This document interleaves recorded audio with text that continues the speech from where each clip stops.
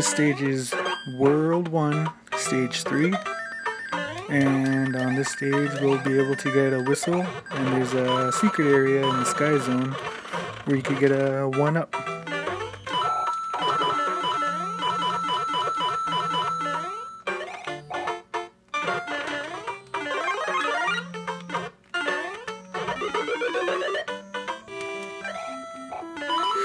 Okay, for uh, this part, you're gonna need the raccoon tail, you know, the leaf. Or if you want to collect absolutely every coin, it'll make it easier if you have a power wing. Because right here, this is where you're gonna have to fly up. And you're gonna have to predict where the one-up's gonna go so you can collect it.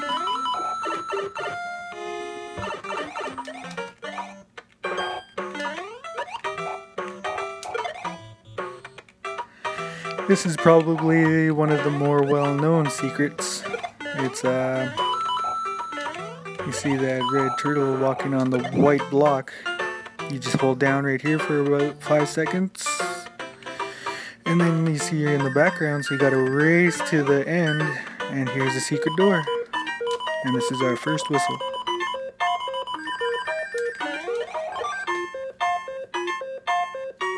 Coming up, you'll see a white ship right there. I got that simply by beating the first stage as fast as I can and collecting every single coin. Now this is the first castle and if you fly up here you'll find another secret door and this is our second whistle.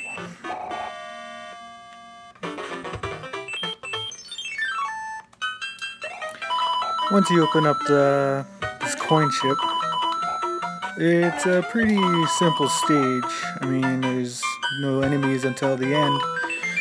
So, what you're watching right now is just a basic strategy on how to collect every single coin and not miss one.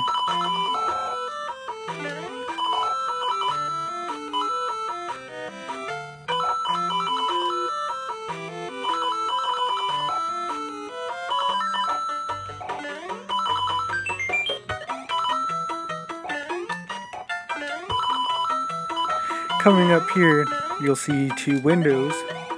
If you jump in the space between the window, you'll find another hidden one up.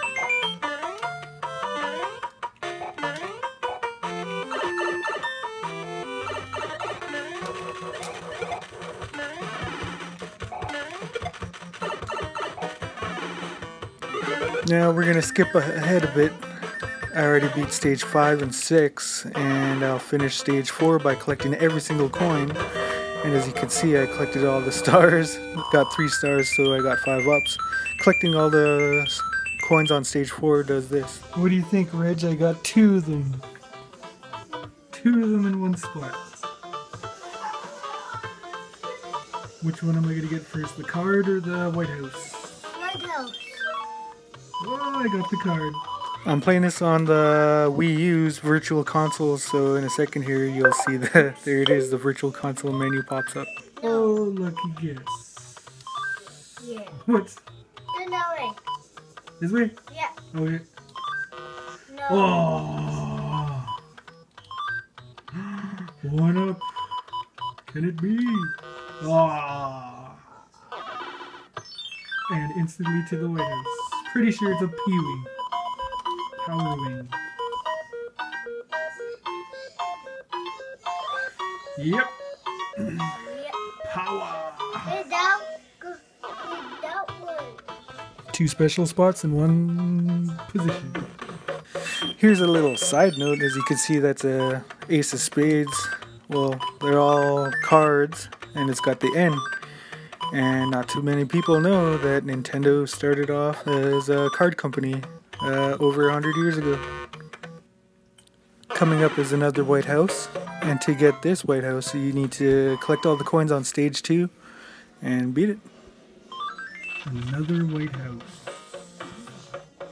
Woo, that's two. Two White Houses. And I believe this one's the anchor.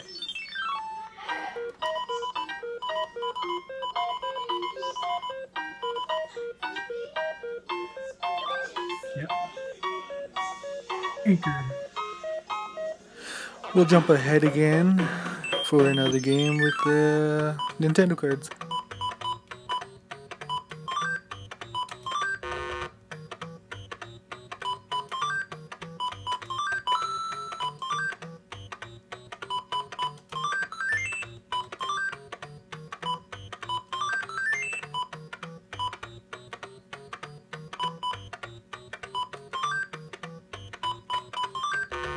We are gonna jump ahead to the Hammer Bros battle, even though it's got boomerangs.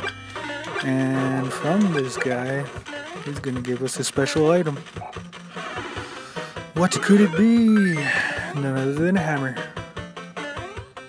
Now that we got the hammer, we could jump ahead past stage four and go to this corner here with that block boulder in the way and then just simply use the hammer on the boulder. We'll skip ahead past that mushroom hut and we'll go to the special Hammer Bros battle where they spit fireballs. And I used the star to make it a lot easier, and there it is. The third warp whistle. Now you don't need three warp whistles to beat the game, but so what you're gonna see me is just use all three warp whistles at once and it'll take me to the World 8 where I will complete the hardest challenge on Super Mario Bros. 3, which is to beat the game with the frog suit.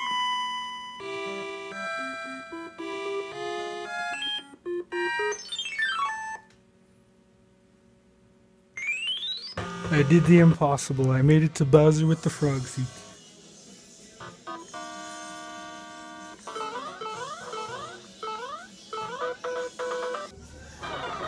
So there it is, I beat Bowser's Castle with the frog suit.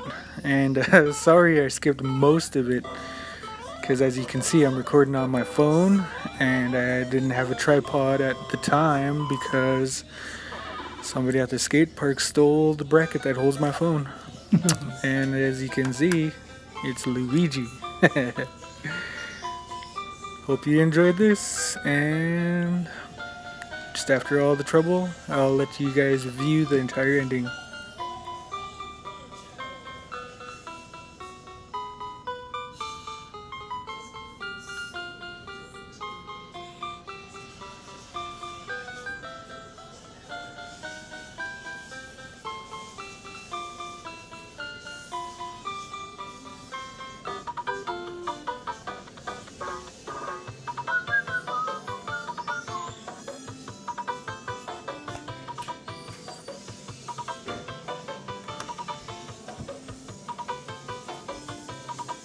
I beat it with the frog. now, these are not all the secrets throughout Super Mario Brothers 3. There, I skipped a jump from World 2 to World 8, so everything in between was left out. As you can see right there, there's that suit, that costume. And a uh, pretty fun thing after beating the game is they give you three rows of power wings. And so basically the rest of the worlds become extremely easy because if you could fly throughout the whole entire stage then yeah, no sweat.